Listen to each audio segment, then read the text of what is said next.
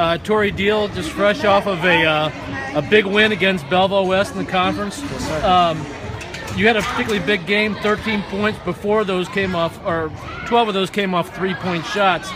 That's about all they were giving you. They didn't give you much sir. close to the basket.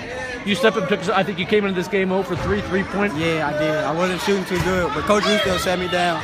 He told me that Kenny Kenny's gonna get a lot of box-and-ones. People people know that Kenny's our best player, so other people have to step up, and that's just what I did. And they left you those open shots, and Yes, you sir. knocked them down. Knocked them down.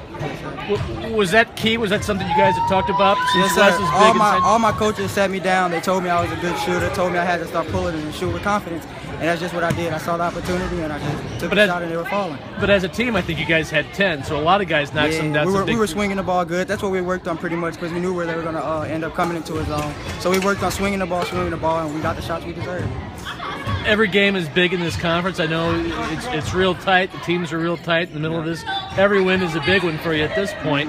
Uh, just trying to talk about Belleville West, what they presented for you that was difficult. And Yeah, well, our zone, our zone offense wasn't doing too good towards the end.